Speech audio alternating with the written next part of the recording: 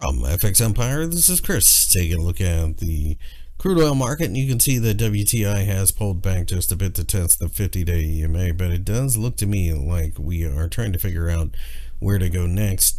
Um, the 200-day EMA above at 91.13, and uh, if we can break above there, then it's likely that we could go much higher, um, perhaps uh, the 95 area, maybe even 100. If we break down below the 85 level, then 82 and a half and 80 come into the picture.